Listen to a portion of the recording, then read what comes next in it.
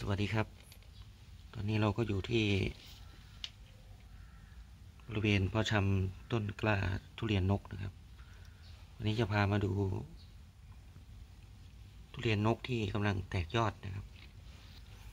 หลังจากที่พ่อกล้าไปสามเดือนนะครับ ตรงนี้ก็ มีบางต้นนะครับที่แตกยอดสวยสูงนะเนี่ยอย่างเช่นต้นนี้นะครับเนี่ย บางต้นก็โตนะครับ บางต้นก็เพิ่งแทงหน่อนะครับเนี่ยอย่างนี้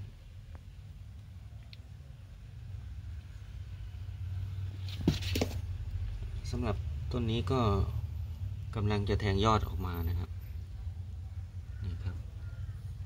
เห็นยอดโผล่นิดๆแล้วนะครับผมก็ถ้าเกิดว่าเราเพาะไปเรื่อย ๆ นะครับ ก็จุดสังเกตจะเห็นบริเวณปลายปลายเม็ดเม็ดนะครับเนี่ยมันจะแตกนะครับ ไม่รู้เห็นหรือเปล่านะครับ มันจะแตกปีๆนะครับ แล้วก็อีกสักอาทิตย์สองอาทิตย์มันก็จะเริ่มมีแทงตาหนอออกมานะครับ ก็ท่านใดที่กำลังเพาะ กล้าทุเรียนนกอยู่นะครับ ที่ยังไม่งอกก็ออย่าเพิ่งใจร้อนนะครับ ก็เพอไปเรื่อยๆอย่าเพิ่งเอาทิ้งนะครับ เพราะว่ามันอาจจะต้องใช้เวลาเวลานานนะครับ ตรงนี้ผมก็เพาะมาสามเดือนแล้วนะครับเนี่ยก็บางต้นก็งอกบางต้นก็ยังไม่งอก ก็ลองเพาะไปเรื่อยๆนะครับ เดี๋ยวมันก็งอกนะครับตราบใดที่เม็ดมันยังไม่เน่า เดี๋ยวเม็ดเน่าจะเป็นยังไง เดี๋ยวจะให้ดู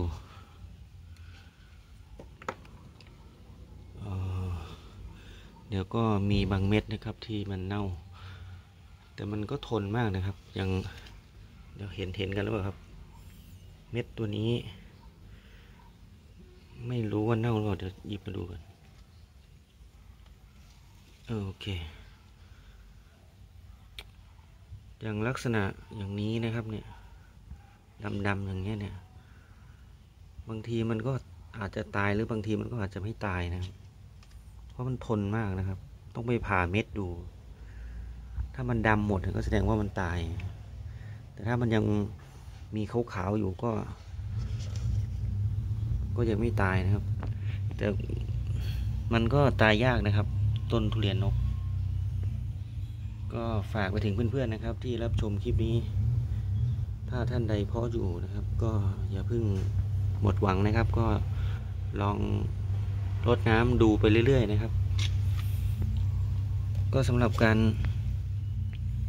เพาะเมล็ดก็ ไม่ต้องฝังกบเยอะนะครับ เอาสักครึ่งเม็ด แต่ของผมนี่ก็ลงไปเยอะหน่อย อย่างนี้ก็เริ่มเริ่มแล้วครับเนี่ยเนี่ยนี่ครับมีรอยแตกครับ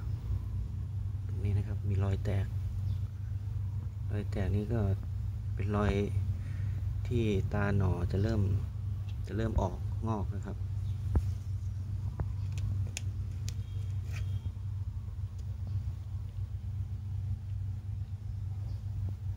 ก็เป็นกำลังใจให้ทุกคนที่พาะเมล็ดทุเรียนนกนะครับ อาจจะต้องใช้เวลาสักระยะนะครับ โอเคครับสำหรับคลิปนี้ก็ฝากเป็นกำลังใจสำหรับ คนที่เพาะกล้าทุเรียนนกนะครับอย่าเพิ่งท้อนะครับ เดี๋ยวไปสักระยะหนึ่งมันมันก็จะแทงหน่อขึ้นมา แล้วก็เป็นต้นสวยนะครับ พอเราเอาไปทำเป็นต้นต่อแล้วมันก็จะทนทานแข็งแรง มันจะเกิดง่ายนะเอ่อโทษทีเกิดยากนะครับ แต่ก็ตายยากเช่นกันนะครับ ก็ขอบคุณทุกท่านนะครับ เป็นกำลังใจให้ทุกคนนะครับ สวัสดีครับ